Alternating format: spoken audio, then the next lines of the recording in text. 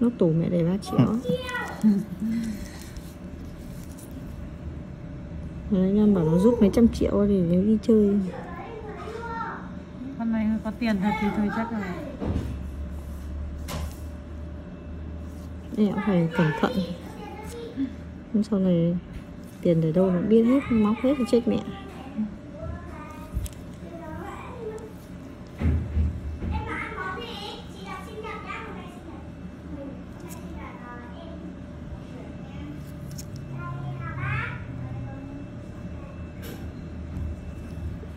Chị ơi vặn cái ờ, chốt ở dưới chân ấy.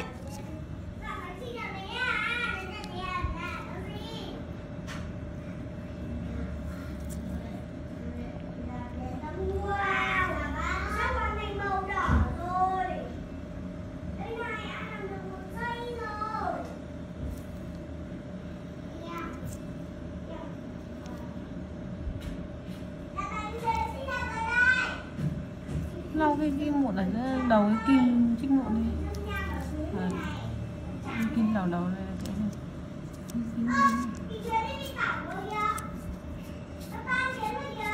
thế này anh Lâm phơi chăn ở đâu? Tầng 3 Trên sân thượng á? Ban công ấy Hay là ở trên bếp? Ban công tầng 3 À, có ban công gì?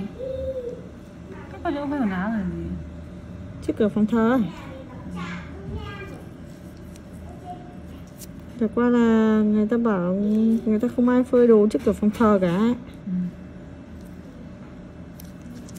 Ừ. Căn bản không giờ nhà mày lại quay ra ngoài.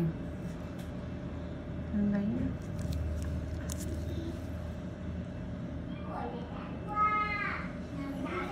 Phòng thờ không được quay ngang nhà mà. Không quay, người ta vẫn quay mà. Quay kiểu như kiểu kia kìa Em thấy ta bảo là trong phong thủy thì là chỉ được quay ra ngoài cửa thôi. Hướng mà, theo hướng chứ. Thế nhà Theo chị hướng của không chủ xem nhà thẻ à? Phải xem cái hướng của chủ nhà chứ. Tại vì bàn thờ nhà chị cũng quay như thế mà. Không phải bàn nào cũng ấy đâu. Bàn nào cũng quay ra cửa đâu. Mà Nhưng mình hợp hướng nào hả?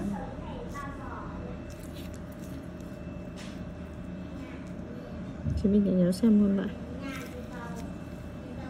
Mình xem mỗi ờ, Bàn thần tài thì xem Bàn đa tiên để xem luôn. Hỏi thầy rồi. Nói thôi hỏi thầy rồi. Thầy bảo quay ra cửa.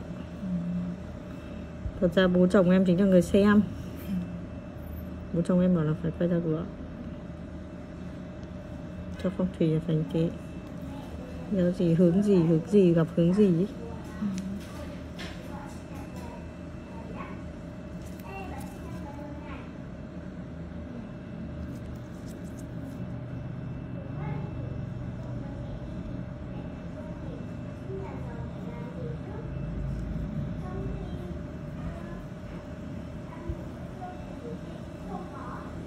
Nghe gì chưa?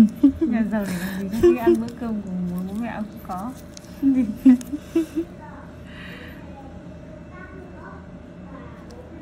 mẹ đi công tác rồi Nhớ hiểu xem phim ảnh lắm mà ừ, Anh em Hiếu Thảo à? Đấy là bạn của của nhà anh em Hiếu Thảo Bố mẹ đi công tác không? Không bảo là nhà giàu để làm gì cháu giờ để ăn cơm bố mẹ Là đi thật.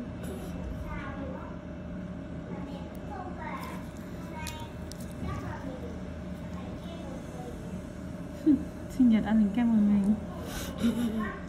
Ảo tưởng là sinh nhật còn đéo cả bánh kem ấy chứ đừng nói là ăn bánh kem một mình nha Bọn được mắc bệnh hội chứng ảo tưởng rồi